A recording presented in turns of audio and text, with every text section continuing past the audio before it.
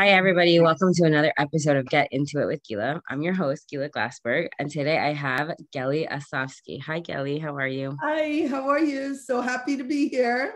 So happy to have you on. I know it took a few weeks to get you on and a few um, days where my kids were home from school, and then, you know, whatever. But Baruch Hashem, here you are.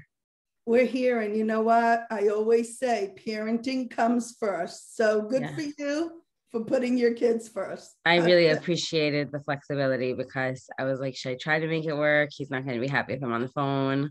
He'll probably come in and be on the podcast, which has happened before, but whatever, we made it work. Baruch Hashem. Yeah. Um, okay, so I just want to say this to the listeners. I follow you on Instagram, Parenting with Gelly, and I, I love your account. But what what drew me to you really to interview you was your episode on on the Joma podcast. Um, I've also been interviewed on that podcast actually, and I I had a long drive to Cleveland or Rochester, one of the two. I had two back to back long drives, and I was listening to podcast after podcast, and you're you know I was up late at night driving. Yours was like really kept me up. It was such an interesting episode. Thank you. See, one never knows where people yeah get to know you from. Yeah. Yes. And actually, you know, I I've recently been realizing how different people are, how different it is to absorb content from Instagram versus podcast because I am on Instagram and I also have a podcast and it's a totally different vibe. Yeah. Just so you know, yeah. and just so people who are listening know, like some people really do like to watch people and some people really do like to listen, especially if you're driving, you can't watch anything. So it's like you're just like gaining all this insight as you're driving. You know what I mean? So, anyways, could you tell the listeners um, a little bit about yourself? What, where do you live? What do you do? Talk to me. Sure. Okay. So, first and foremost, I'm a mother. I always say that's my claim to fame being a mother. And now I'm a grandmother of two little kids, mm. cutie pies, Mayor and Layla. And mm. uh, they make my life very, very special. Mm. And professionally, I'm a child and family therapist in Monsey, New York, uh, for the past 20 years, mostly working within the frum community sector, um, whether it's Orthodox, Heimish, Hasidish. I speak a fluent Yiddish. So I land up speaking, seeing a lot of children who only speak Yiddish as a primary language. And uh, I also am a registered play therapy supervisor and an EMDR consultant.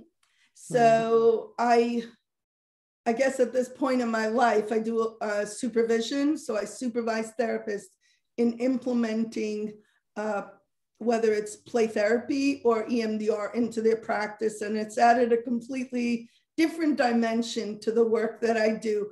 I'm also the coordinator of our local trauma recovery network where EMDR therapists are available in times of community crisis, natural disasters, hate crimes, terrorism, to provide pro bono EMDR therapy. Wow. So um, that was started after the Rabbi Rottenberg knife attack. Um, mm. And we're trying to get ourselves mobilized. Khalila, Khalila, there are crazy stories that we can be available to serve the community. And I also have my uh, parenting courses, and the one offline is a telecourse, which wow. is so interesting because I started with the Frum community as a telecourse mm-hmm. um, because I heard that that's what people like. Um, it's called Playful Parenting.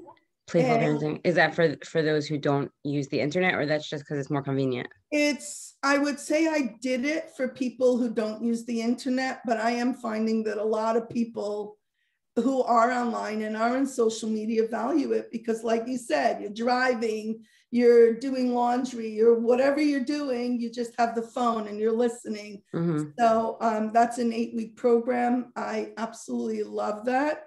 And then we finish beta testing it online and that's more of a a video program with a facebook group more for people who like and open to the frum people and the greater community. So um, I, I guess that's a big mouthful, but that's a lot of things. You do a lot of things. What I do. Yeah. you do a lot of important work. Wow, that's really incredible. Um, it gives me hope for like for like when I could say like I've been doing something for 20 years, like that I'll be able to do all the things that I want to do, you know, because now it's hard to do all those things. Raising kids comes first. And Right. I always say that.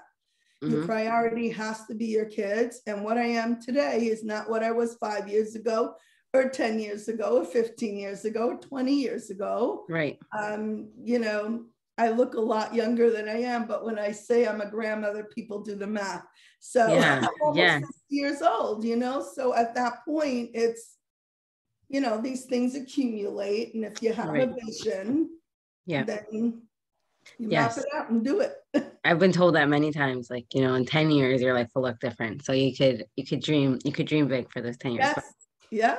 So how did did you always know you wanted to be a therapist? Like how did that come to be? No, it's a great starting question.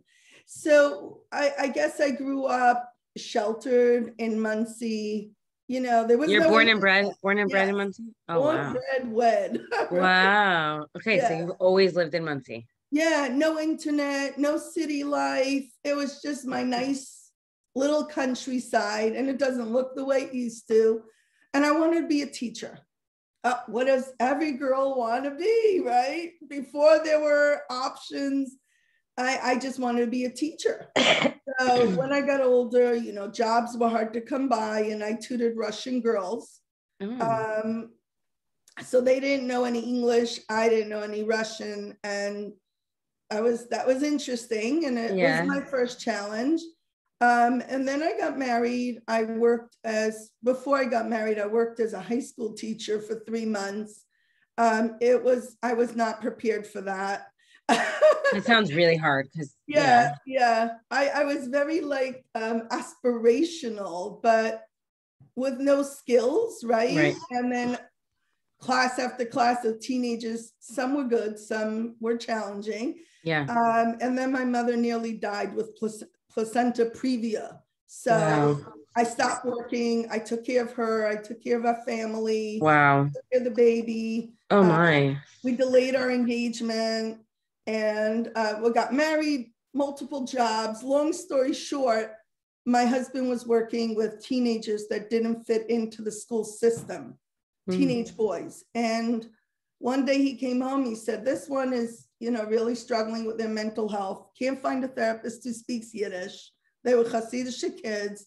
We have to go to um, non-jewish secular modern orthodox and nothing's wrong with getting help from someone qualified. I just want to say that Right. these, these teenagers had a real a language barrier, and their parents were uncomfortable Mm-hmm. sending them to the therapist. There was nobody out there. So he's like, why don't you go to school and become a therapist? So that's Wow. what happened actually. Uh, Is that so well with you? You- When he said that, you- Yeah, I mean, I, you know, like I said, I was never, I'm a bright person. I have a lot of interests, but I never thought about college. It wasn't, Mhm. It wasn't something in my Heimish Hasidish world that people did. And I thought to myself, okay, well, how do I do this? So I went and got my bachelor's in um, through Empire State College, did a really advanced, quick, blasted through it curriculum uh, Wow. with a one-on-one mentor. And then I looked at the top two schools for social work. And I tried to figure out, do I want to become a psychologist? Do I want to become a social worker? And the calculation that I made was that a psychologist, like I would love to be a doctor, but it would Mhm. take five years. My kids were young right. they were two and five and to become a social worker would be two years and i would always study that, that I'm, I'm a lifelong learner so i decided to become a social worker Wow. and um, then i went to nyu that's that was at Wow. that point one of the top two social workers in the country.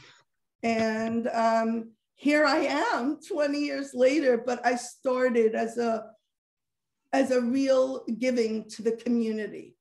That that was the beginning, and it, it was hard in the beginning because mental health was a real stereotype back then, and so I landed up seeing lots of Haitian kids, lots of different, Wow. and then that was okay too. Everybody, uh, uh, as a therapist, you you don't discriminate, right? But Right. The reason that I went in to the field was to help the community and to bring the best of science, the best of therapy, the best healing modalities to the frum community. And I can honestly say, like, I've accomplished that goal and I keep I keep working on it. Wow. So that that was 20 years ago when you got your degree? Uh, I started school in uh, 2000. Yeah. So wow. that was when I started my internship. Yep. And we're in 2022. I graduated in 2002. Yep. Wow. So did in your head you were thinking like I'm going to start like doing private practice and help the frum community or or did you have to like work under somebody for a while? Or are you able to just start you right away? You just walk into private practice. I mean, people do it, but the legality piece is you just talked about having children. I worked about 12 to 15 hours a week. I was a full-time mommy. Right. And um, it wasn't easy. And it I understand. Me, right? yeah. Me, usually they say that, well, the rules have changed. But when I was in school, if you work 20 hours a week, and three years and under supervision, then you could qualify to take the state licensing board. Mm-hmm. But you had to add up the math. So you could either do 20 hours, 15 hours, or 10 hours. So I had to pick the longest route because it had to add up, it had to be signed off. So it took me six years to qualify wow. for that exam, which meant I couldn't work privately because mm-hmm legally I had to have the LCSW. And then you, if you work another three years under supervision, you qualify for the LCSWR. So um, that that's the designation I wanted. So I worked 18 years part-time in a clinic. And mm. then I divided that between working the last 10 years in private practice until I was competing against myself. Right. And then right. I, I, left and I went into full time private practice. Wow. Yeah. I know like a tiny bit about it because I have a good friend who's doing this now and she's trying to get her her L. Does that make sense? And she did a lot of hours of supervision and yeah. she wants to do private practice. So yeah, as a dietitian, I also went into private practice and it's been challenging and I pay my own supervisor because we don't technically have to do that, but it's like really hard not to do that. Their cases are so challenging. If you're doing eating disorders, disordered eating, it's it's yeah. challenging. Yeah, and I always say to people, like I paid for my own supervision when I had a supervisor in the clinic. Mm-hmm. Right, I wanted to become a registered play therapy supervisor. I wanted to be trained in by expert.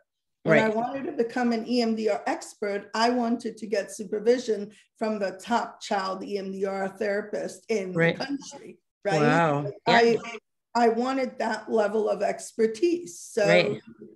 you know, it doesn't happen out of nowhere. It's the supervision, it's the training, it's the education. The commitment. Yeah. Yeah. Yeah. Yeah years and years of working and seeing so many different things yeah i mean i'm still i'm still very new to the field i would say just because um, I've been doing it now for five years, you know, but like you can't put a price tag on experience really. Um, yeah. So, but you mentioned play therapy. So, where did that come in? I think the kids found me. Mm-hmm. so, in the clinic, I was assigned a variety of clients, and I had always said, "Look, my kids are young. I want. To, I don't want to work all day with kids and then come home right. And then be bored when i when my kids come home. Right. But then i got i kept getting assigned children. So i started taking trainings on um you know how to help kids. And then it just developed one thing after another. People started telling their friends. And all of a sudden my practice was 100% kids. It's like a calling. It's like a calling yeah. right? I've yeah. seen you talk about it on Instagram like that. You're you're very playful and like yeah and, and you love kids and and that's sort of just like your natural calling that you yes. That you, right yeah yeah but Did when i was young i wanted to do this you know intellectual whatever you know was, very funny that's yeah. very funny yeah. like i've I've oh it, it this is funny. I'll just say this that I'm one of nine. I'm the fourth of nine, and my mom always joked that like I hated it and that like I was very materialistic as a kid and like mm. I wanted my own room. It was hard for me as a kid, and um and I always ended up, you know, like I had to work my whole life. I worked in camps and I was always very good with kids, but I didn't like love working with kids. But it is funny that like there's it's such a skill to work with kids. It's it's you either like kind of have it or you don't. You could definitely cultivate it, but like I've always been told like, yeah, you're so good with kids. I'm like, really? That's so funny because I'm I also like love to work with adults and like it, the intellectual side of things, but there's a real skill as an adult to be be able to yeah, yeah. you yes. know and I would say that that's one of the things that was my goal in creating the course, which, by the way, the course that I was going to create that was in my head for when my kids get older was a more academic adult course, you know, to help adults. Right. And then during my near death with COVID 19 months ago, I made this promise to myself saying that if I survive, I would create a parenting course to help mothers. And that's how this course evolved because it is something that can be taught. Wow. Like I you can I can break it down to you so practically. That's my middle name, practical, that you literally don't have to think about it. You could just do it and you'll see the results, which wow. is interesting, but it is it's something that could be cultivated. Yeah. So, yeah. Well, yeah, I've I've had this conversation with my own therapist many times where she's like, You're just not that type of mom that wants to sit on the floor and play with your kids. And you're probably like that's probably the majority of moms. I'm like, oh, that, that can't be true. You know, like I kept saying, that can't be true. She's like, no, it is true. And like, you know, like obviously I love yeah. my kids. I love being with my kids, but you sometimes have to get creative if that's not like sitting on the floor and playing with blocks is not yeah. like your nature. Yeah. You know? yeah. And I know that's not the focus of our talk, but yeah, if you want to talk to me afterwards, uh, thank you. I literally, that's my mission statement to revolutionize the world of parenting. Don't think of play as sitting on the floor and playing with your kids blocks. Right. Playing is being a playful mother, bringing the things that make you happy into your life and also, if you have two minutes, you have five minutes, you have 10 minutes, that's the foundation of what I teach, you can play. Right. It doesn't mean it's something to be saved up for. Because right. that's the that, number yeah. one question that parents go and they're like, oh my God, I feel like I am literally going to go under the to do list. It's right. so big and I have to just sit there and yes, my eyelids so are shut on me yeah. and like if my kid offers me make believe coffee one more time right? yes that's my that's my afternoons right now yeah, yep. yeah, yeah, yeah yeah it's very funny it's actually funny because since that conversation with my therapist my so i have a daughter who's just not turning nine and then a six year old mm-hmm. son and a three year old son and we're in a new stage now where like my boys are really close and they're really playing. They're like they don't need mm-hmm. us you know? They're just like right. so in the zone with play. And we've never had that because um my you know they say like oldest don't do that. My daughter definitely didn't. And and my son my six year old was always so bored. But now that my three year old like getting with the program you know it's like really cute to see. So i see how like I do I, I do matter. Like they still want to show me, they still want to explain it to me, but like it's so much easier. It's so much easier for me, like that I'm I'm sort of like there watching versus like, okay, guys, who wants to do Magna-Tiles now? Like, right, okay, 10 right. minutes later now, you know. Right. Um right. right. But I that is I, I heard you say that if anyone wants to hear your story on the Joma podcast, I could link that in the show notes um, about your near death experience. But so you so you sort of had like um, a change of heart during that time where you were like, this is what the world needs. It wasn't even a change of heart. I think I was semi-conscious when I made that decision. I mean, all the systems failed. And in retrospect, like so many people who I spoke to after I finally, because after the near death, semi conscious crazies, I couldn't even talk, right? Wow. There was a very long recovery with my lungs. Wow. Um, and COVID, long haul of symptoms and all of that. But people re- reminded me that when I could barely croak out a sentence, I would say, so here's what I'm going to do if I survive. Here's what I'm thinking about. And they'd be sitting davening and saying Tehillim, hoping I make it. And I was talking about, okay, so this and this is what I see in my therapy office. So now it makes sense. And I would say a little tidbit to this one, a little tidbit to that one. And, and then I actually signed up for a course on how to create a course. and I would just keep it playing all day long. And I fall asleep. I click it on again, and here I am. It's it's unbelievable. Anyway, yeah. I'm I'm impressed. Like I'm just shocked at how resiliency works, and that's yes. a whole other topic. Yeah. But I was resilient, and even though I knew there was a real possibility I may not make it at times, most times I focused on what I could give back. Wow. And um, it kept me alive, I think. Wow. Yeah. Yeah. It, it does sound that like there was some like supernatural to this course, right? Yeah. yeah. Yeah. Like you just had to, you had to, I mean, you had to survive for many reasons, but you had to survive to like get this course out into the world. Yeah. And how, how's the feedback about the course? It's a, it's amazing. Like I've walked hundreds of women through the telecourse. Um, and now I'm actually launching a Yiddish version of it. Wow. And that's that's been on my mind actually for half a year. I just wasn't well enough to actually bring it to fruition. Right. Um, but now it's happening, and I've been beta testing the online version for six months. Wow. And um, it's amazing. It's just like the feedback I've gotten is once you get midpoint, it doesn't matter if you take four months to get there, if you take four weeks to get there, however you do the course, by the time you're midway through the program, you've changed your mindset and your household and your relationship with your children. So it's it's really motivating me to keep creating. I guess. That's amazing. Yeah. Amazing. Yeah. Yeah. So I'll link all that information in the show notes so people could, could sign up for the course. Yeah, let's get this into the world. Yeah. I, I know my parenting have been, ha, I don't want to talk so much about my parenting, but I know my parenting has been revolutionized with the parenting classes that I took parallel with his course and Sima Spetner's course. And yeah, yeah. it's been yeah. really amazing to have that mind mindset shift when it comes to parenting. The things that like didn't make sense as a kid and now aren't making so much sense as an adult and you're trying to, you know, fix that. It's really interesting. So I wanted to um, bring you on to talk a little bit about um, things that you see in your practice in terms of like if children are struggling with feeling uncomfortable in their body, body image things, and maybe not so much the children, but the parents. Like, what, what do you see in your practice? Sure. Um, and, and I'm just telling everyone, we decided to do this as a natural flow because these conversations, I, I think they go so nicely when it's just you know, of course, I prepared a little in my mind, but I don't have like a, a, paper that I'm reading off of. So I think one of the biggest things that I see is that children don't really think they're overweight most of the time. Children aren't born with that kind of like, oh, I'm fat. Mm-hmm.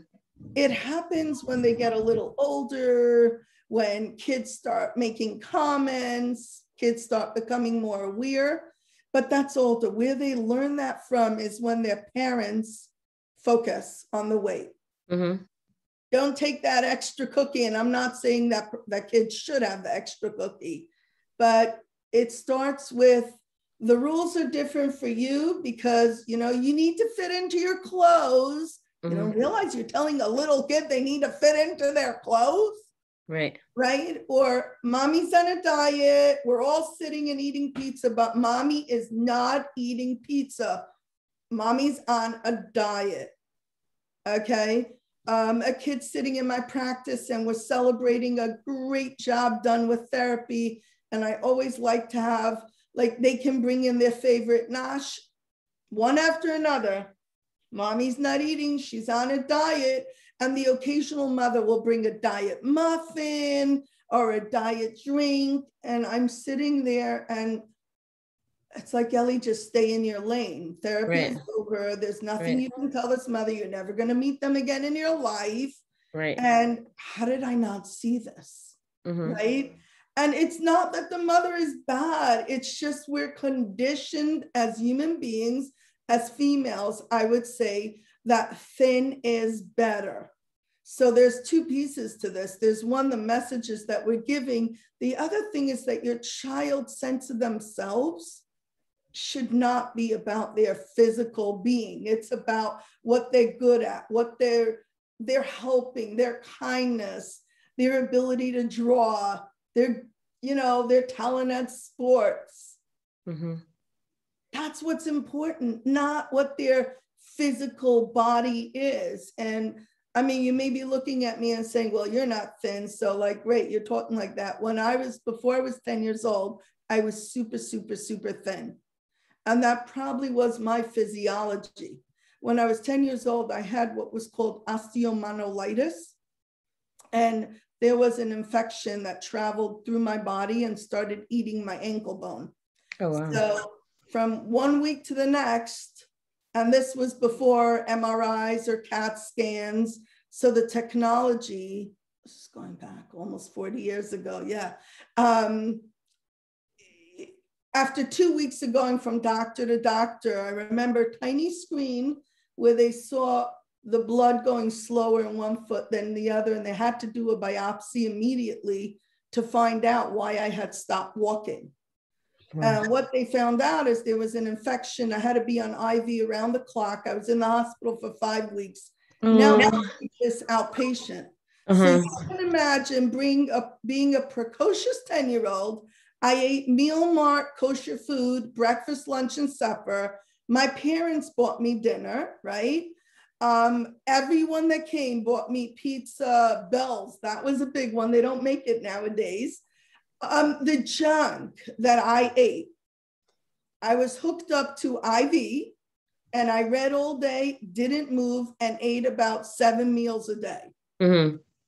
I, I that, that was what I did. Right. Okay. So when I came out of the hospital, I was probably my physiology was permanently changed. Mm-hmm.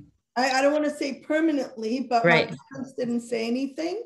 Mm-hmm. Luckily, right. They didn't put that on me my clothes were bursting out of me and I never went back to being a thin kid. So mm-hmm. yeah, there, there were times when I mourned that, not at that age, but being 16, 17, even even 15 years ago, I was like, you know, let's do some hypnosis about getting into that thin 10 year old, that mm-hmm. physiology, that that perfect body, right? But luckily, my parents didn't say anything. They didn't create an eating disorder out of it. Right. Totally. It's interesting because yeah. we, in the intuitive eating health at every size space, we don't even, I don't know how you feel about this, but we don't even um, like call that type of food junk food because it's like a label on food. It like implies yeah. that it should, yeah. you know, junk garbage implies that it should be in the garbage. So like, even with my own like supervisor who I'm working with, like we don't really um, label any food like he- even healthy or unhealthy which seems so innocent but all foods could really fit you know so like you said if you're celebrating with um one of your children in, in therapy one of your clients um, and you're using food to celebrate obviously that has its place otherwise you wouldn't do it you know so right. the, the right. messaging is like uh, you know this is junk food but i'm giving it to you. It's it's not a good message. So right. um but but that's really interesting. Like and and also like we were talking about it a little bit before we started recording like um that like like you had this near death experience and that's really like a huge challenge and at the same time you're so grateful that now you're alive. So like a lot of what the intuitive eating like health at every size people were saying on on instagram was like after covid if you gained if you gained some weight like and that was the worst thing that happened to you like consider yourself lucky. Meaning like you went through this trauma at age 10 where like like you didn't know what was wrong with you. They figured it out. You had to be hooked up to iv for five weeks and that was probably terrible. Um, and at the same time you were you know people were trying to help you and give you food and help you be comfortable and um, a result was gaining weight but it wasn't like thank god it wasn't like blown out of proportion that that oh now she gains weight like what are we going to do about it it was just yeah, the, no, it just was, the facts it wasn't even addressed it right. was like right. well when we went shopping for the fall clothes we got the size that i fit into right. and i don't remember feeling like anything like no one looked at me and said, hmm, hmm. No, it's just right. like, okay, I don't know. Bodies change. Yeah. Right. Like yeah. whatever. Yeah. So does it happen in your practice though that like you need to address that with like we said you're a play therapist? Does it happen that you would have to like sort of explain that through play? I think at a 20 years, okay, and that's a lot of kids. I'm not going to say thousands because I don't like to exaggerate, but one by one by one over 20 years, that's a lot of kids. Um, I think there are only two kids that their parents came into my practice for severe obesity. Um, there's one boy I worked with that uh, when slim fit pants came into style about five years ago, uh, he got very self conscious. He was a little husky and he wanted slim fit pants, and that did not go under well. Mm-hmm. and um, I think that's it. But I would say most parents aren't targeting their kids per se about like you have a problem we need to talk about this. It's more the unspoken messages and just being a person in the world. I will you know sit out with neighbors meet people at weddings simchas and i see the messaging don't take a second piece of cake. You already had da da da da da da maybe if you're hungry go eat the salad or um, so a lot of messaging. And yes, we should tell our children not to eat half of the food on the simcha table. But do we have to tie it into weight or is it right. derech eretz, right? Right, like, right, right. We need to leave room for other people, right, know? right. Yeah. So okay. So I, I hear that in your practice, it's not coming up so much um directly, but you see it like more like indirectly. That indirectly, and I yeah. think I think I want to say that sometimes parents, like, unless it's overwhelming, right? Like, a, there's a difference between a kid being 10 pounds overweight or 50 pounds overweight. And, but I have seen just from life experience how parents treat children who are a little more, you know, they have a little more pounds on them differently than the children that are thin. Right. And that is a setup for eating disorders. Like I've seen it it's those messages over and over and over again that that one that the value of a human being is really in them being thin. Right. It's interesting also that you said that um like you're folk you're trying you're trying to teach the parents and the children like the focus isn't the way that you look. It's like so much more than that. Yeah. is that something that you like that you could explain like how that would be something that you would play out and play or come up that sure sure. So there are a few ways to do play therapy, right? So the non-directive play therapy doesn't have a child a parent in the playroom, it's the child. Child gets to choose whatever they want to play. In that play, let's say if they're playing in the kitchen center, I would say six and younger, kids really love playing in a nice kitchen center. And when I bring a parent into the room, which is I love working with family systems, it's you see the nourishment and the nurture, right? It's like, here, mommy, have a cookie. And one mother's going to go, mm-hmm, and another mother's going to go, I think I'll have the broccoli. Mommy's on a diet, right? Right, right? So in that moment, it's a teaching moment, and I will use it. I'll say, Well, we're not dieting here. We're just having a cookie. Right. Right. Yeah. Right. And you would so, you would call the parent in to see like how that would really play out at home, or you would just call the parent out to teach her or him? I think I don't call out parents in front of their children on a regular basis. So that would have to be a playful interweave, right? The parent wouldn't feel called out on. But I like to do parenting every few weeks with parents in my practice. And I would address it if it was something I saw that happened several times. Like, how is that at home? Like, how, how do you actually talk about cookies? How do you talk about food? Mm-hmm.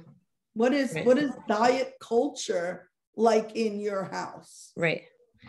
And and how would it like let's say I don't know if you're thinking of someone specific or like in general, how would how how would a parent usually respond to that like type of I think parents are not defensive. I think parents are like, look, this is my life. I'm constantly on a diet. And uh, my job, because the parent is not my client, I do work with parents as clients, but because they're not my client, my job is more in that point to do psychoeducation, which is to educate about how we would talk to children. And I understand a lot about intuitive eating. I've had my own struggle with eating. I, I, wouldn't call it like a struggle, struggle, but just in managing and being okay with my body size because I live in the same world everybody else lives, right? right? Right. And I'm clearly aware that I could have been thin, right? Mm-hmm. Mm-hmm. So I really would just talk about the importance of not putting adult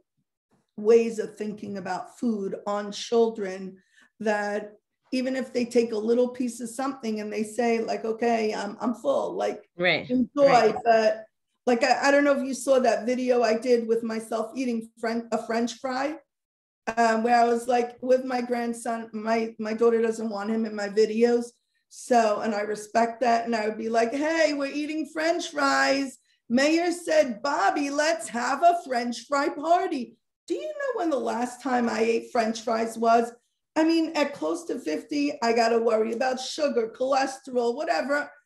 Not in a crazy way, but I'm French fries are a treat, you know. Right, right. And again, I'm not. I'm not going. I know that you have a different way of looking at it, but but I'm not. I'm not overly going to eat French fries. Right. I hear Meaning, you. like, so the fried food.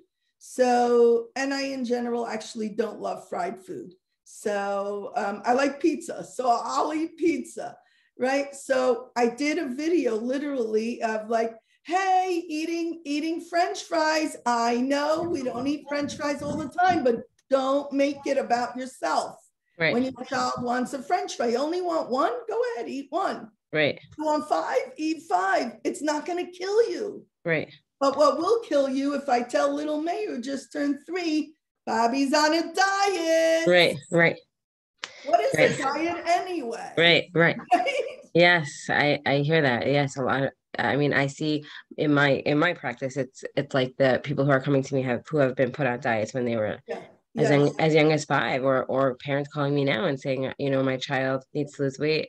I don't do that, so I don't know. I'm still get I'm still having to do something with my branding or something that I'm still getting those phone calls, but I don't I won't help with weight loss. That's not what I do but yeah but um yeah it's interesting i'm just reminding myself of a teenager i worked with that developed pre-diabetes she was overweight and she had other issues mm-hmm. And i said to the mother i said before you put her on a diet i need you to talk call the doctor and ask because they were already talking about it right is this at the point where this girl must modify her food and go into an extreme way of eating?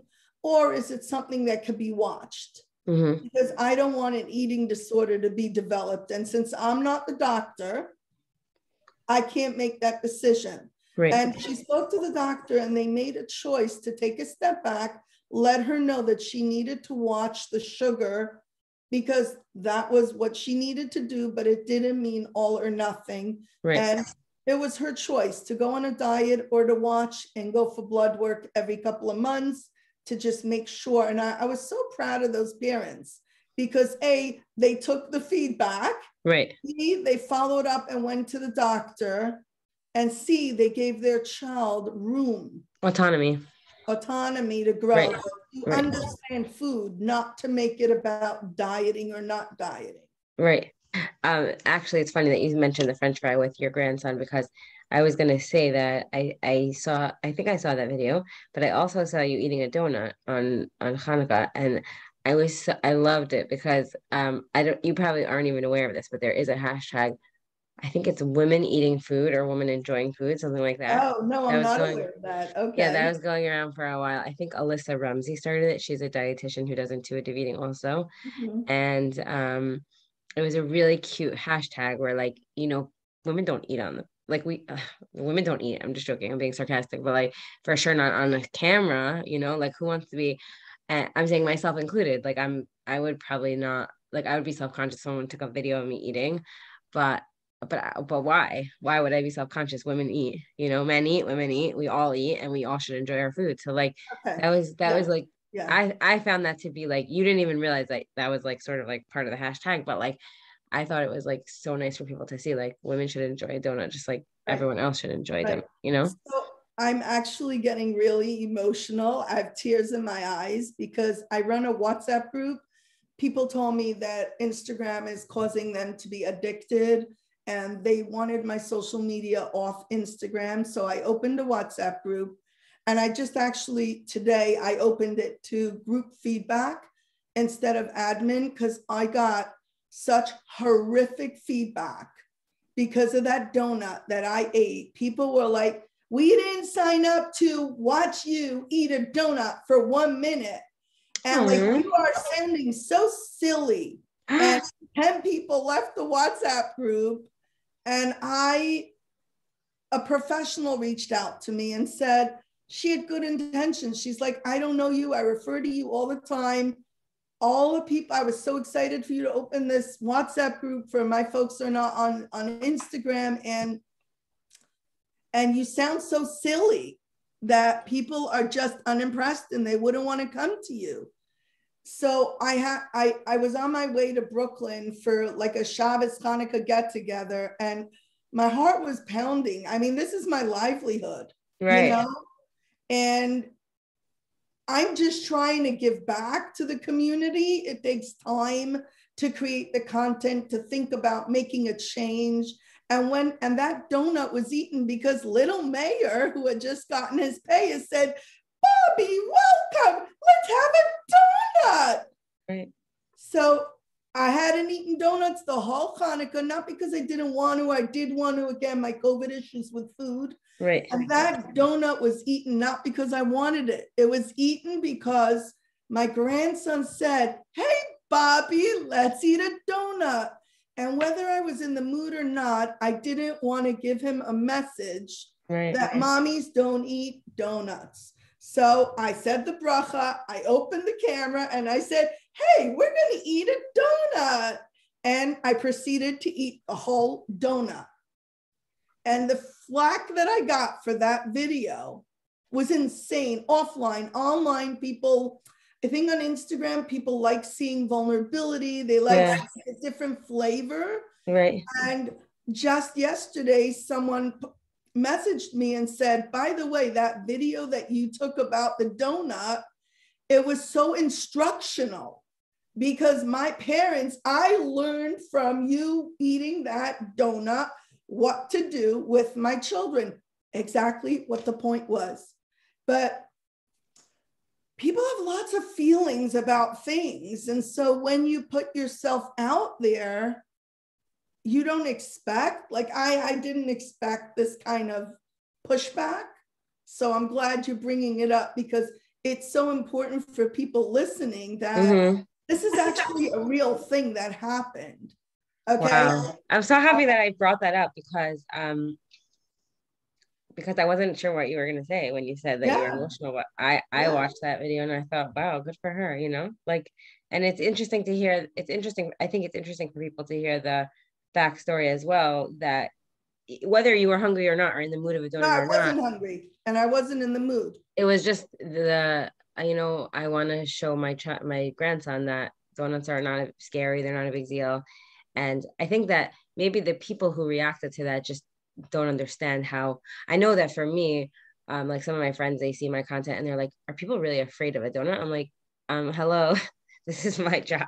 Like they can't Right, relate to it. so they Right, think it sounds a little extreme or crazy, but exactly what you just said about somebody else, that that content landing on someone else and who really got the point was like, wow, I really that gave me such such in, so many instructions for how to handle that with my kids. I, I think that that's you can't it's so hard not to take it personally. Right. And it was Uh, a playful moment. This right. is all about playful parenting or playful Right. grandparenting. Right. What food plays a big part in our life as frum people and Right. in every culture, actually. Right. You know? Yeah. Um, that's really interesting. I have to I I want to like process that whole story because I was just saying it like off the cuff, you know. Yeah. Um yeah. But anyways, we I we do have to wrap up this um episode, but it was so nice to like get to know you and hear all the things that you're doing. And for sure, let's hear where where could people find you? Sure. So I'm parenting with Gelly anywhere on social media, on Instagram, Facebook, Gelly Asovski on LinkedIn, um, parentingwithgelly.com. Anywhere you want to find me online. If you're offline, you want to find out about the course. You can, um, you can, I'll give the number, I'll, I'll just say it, but you can put it Sure. under the show notes, 92999 child. Okay. 92999 child. And there's a 17 minute intro to the course. Online, um, if you'd like information, you can reach out to me. I'm, I'm working. The only difference, because I know this is mostly a frum audience, so I'll just say I usually like to tell people to go into one place. But depending on your style of learning, it's both the same content. One is more leaning to yeshivish, Heimish, Hasidish, because as I built this, and we did our fourth round already, people asked for more Torah values to be put into that. And so online, it's the same hashkafa, but since it's open to anybody, I'll say God instead of Hashem. And I also, there's the option of building community. Wow. So it's more pricey because I'm there. I'm in the Facebook group every day. So mm-hmm. there's a lot more interaction, but the support is way bigger. So, so you're gonna you could pick whatever if you want more support, yeah, less support, yeah, if you want yeah, more hashkafa, more Torah. Um yeah. that's so cool. I love that you're so open to the feedback from your from your you know followers and yeah, you're doing amazing work. Thank you so much for coming on. Thank you so much and great meeting you and thank you for doing what you're doing because you help me, I guess. I always say the 80-20 rule. Like that's that's the way because I'm not a dietitian. I'm like don't make your kids crazy. If they're eating fine 80% of the time, look away. Kid eats cookies, they eat super snacks, ice cream. It's fine. It's food. Life is about mm. celebration. Right. It's right. not about like, you know. Right, right. So yeah. um, um, this is something that I, I think you're doing important work and getting that message out there is really important. Oh, it was so nice to talk with you. You too. Thank you so much. This was so nice. Yeah. Take care. Okay. Bye. Bye.